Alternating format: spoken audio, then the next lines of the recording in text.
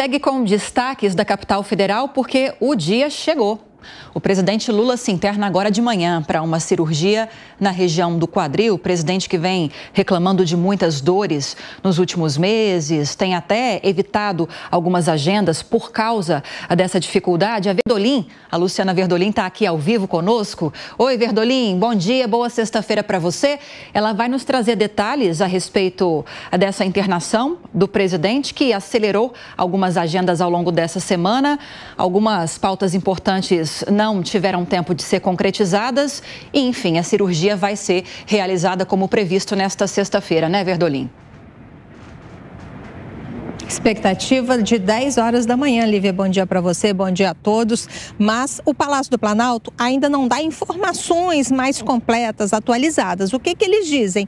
Vai ter uma coletiva no fim do dia, possivelmente às 5 horas da tarde, para aí sim explicar tudo o que aconteceu, como que está sendo a recuperação, como que foi realizado o procedimento. Ainda está muito tranquilo para chegar no hospital aqui em Brasília. Então, a avaliação que a gente faz é que o presidente ainda não teria chegado chegada. A expectativa é de que ele chegue até umas sete e meia da manhã, no máximo. É preciso um certo tempo, né, para fazer um, um, umas questões burocráticas. A cirurgia deve durar de uma ou duas horas, de acordo com auxiliares, mas ninguém quer cravar exatamente para evitar muitos questionamentos. E já avisaram para a gente também que não adianta ficar perguntando o tempo inteiro, porque informações só serão dadas mesmo no fim do dia. Vale ressaltar que eles montaram aqui na frente do hospital uma base até para a imprensa ficar, porque a gente normalmente fica no Palácio do Planalto. Daqui até a próxima terça-feira, a base da imprensa vai ser aqui em frente ao hospital, onde o presidente vai ser operado.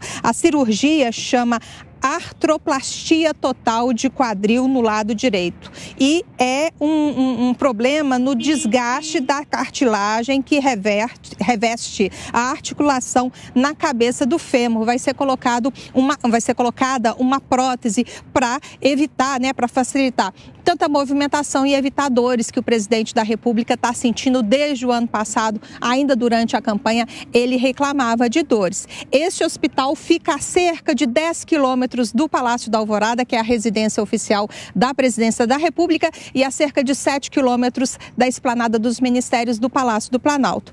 E é, a expectativa de que o presidente passe hoje pelo procedimento e só tenha alta na próxima terça-feira. Daí ele vai despachar da residência oficial, vai ser aí algum algo em torno de três semanas para total recuperação do presidente, mas viagens só serão retomadas no final de novembro. É, e esse afastamento, pelo menos temporariamente, Verdolim, do presidente Lula das atividades aí de Brasília, talvez seja até providencial, porque acontece num momento de muito acirramento das tensões entre Congresso Nacional e o STF, a própria sanção prevista ou não sanção, veto ao projeto de lei aprovado no Congresso que trata do marco temporal, é um ponto muito sensível para o governo. Qual vai ser a sinalização? Ele vai sancionar e sinalizar positivamente para o Senado ou não, sinalizando positivamente para a base dele, para os petistas e também para o STF. Haverá um tempo aí para Lula pensar no que será feito. Daqui a pouquinho, a Luciana Verdolim volta com mais informações para a gente de Brasília. Bom trabalho, Verdolim.